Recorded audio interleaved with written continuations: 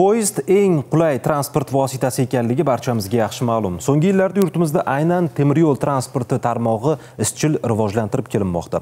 Xususan oxirgi yillarda Qarshi, Kitob, Pop, Namangan, Andijon hamda Qarshi, Termiz yo'nalishlari elektrlashtirildi.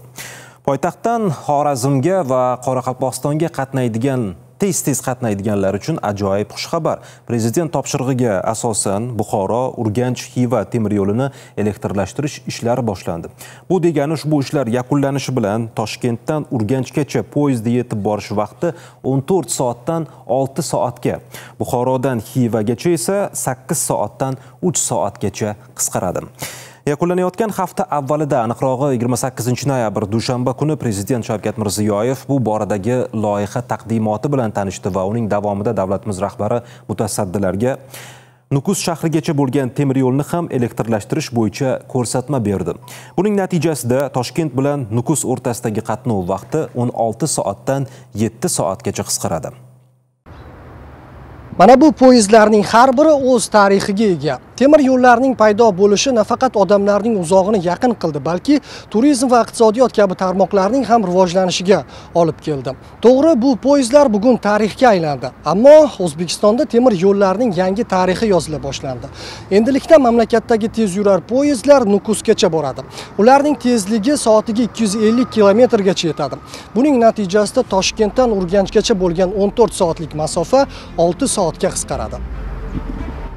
28 noyabr kuni prezident Shavkat Mirziyoyev Buxoro Urganch Xiva temir yo'lni elektrlashtirish loyihasi bo'yicha taqdimot bilan tanishdi. Davlatimiz rahbari xorazmliklar bilan uchrashganida 2024-yilda Xivaga tezyurar elektr poyezdi yo'lga qo'yilishini aytgan edi. Bu reja O'zbekiston Respublikasining 2022-2026 yillarga mo'ljallangan investitsiya dasturiga kiritildi. Shu tariqa Buxoro Urganch Xiva temir yo'lni elektrlashtirish boshlandi. Taqdimotda bu ishlarning borishi va kutilayotgan natijalar haqida axborot berildi.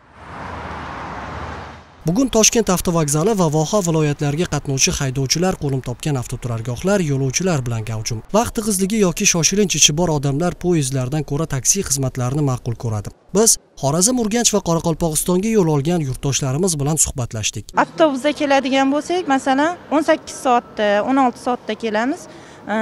Poyezdda bo'ladigan bo'lsa, poyezdda ham 18 soatda kelamiz. Taksida lekin tezroq kelamiz. Lekin uni ham o'ziga yarasha qiyinchiliklari bor. Baribir mashinada baribir risk deb uxlab qolishi ham mumkin. Poyezd prosta o'n besh o'n olti soatda boradi. O'shaning uchun ko'p odam mashinani tanlaydida tez borgani uchun temir yo'llarni elektrlashtirish loyihasi poytaxtdan nukusgacha bo'lgan masofani teng yarmiga qisqartirishni maqsad qilgan. Mazkur loyihaning qiymati 445 million dollar shundan 270 million dollari osiyo taraqqiyot banki va osiyo infratuzilmaviy investitsiyalar bankidan jalb etiladi. Loyiha doirasida buxorodan xivagacha bo'lgan 465 kilometr temir yo'l tarmog'i elektrlashtiriladi bekat mum stansiyalar va boshqa inshootlar quriladi. Loyihani umumiy qiymati Э, to'rt yuz oltmish besh o'ndan olti million dollarni tashkil etgan bo'lsa shu loyihani tarkibidan sakson million dollar optimallashtirishga erishildi.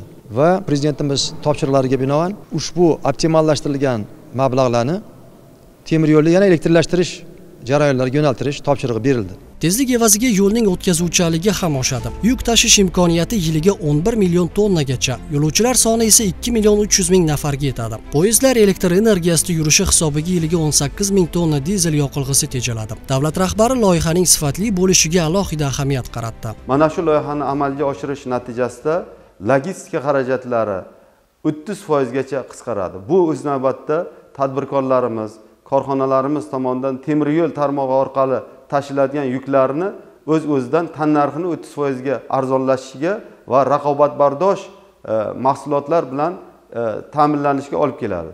Prezident mutasaddilarga hozirgi loyihaga hamohang tarzda nukus shahrigacha bo'lgan temir yo'lni ham elektrlashtirish bo'yicha ko'rsatma berdi. Buning natijasida toshkent bilan nukus o'rtasidagi qatnov vaqti 16 soatdan 7 soatgacha qisqaradi. Agarda e, tez yuradigan poyezd qo'yilsa bizaga rosa qulay bo'ladi. Xursandman rahmat kattakon. O'sha xizmat qilayotganlarga o'shani orqasida yurgan insonlarga hammasiga rahmat. Prezidentimizga ham rahmat katta. Temir yo'l borgan joyga madaniyat boradi hayot jonlanadi. Shunday ekan davlat rahbari temir yo'l bo'ylab cho'l iqlimiga mos daraxt va butalar ekish zarurligini ta'kidladi. Ixtiyor siddiqov haydus ermakbayev yangi zamon dasturi uchun maxsus.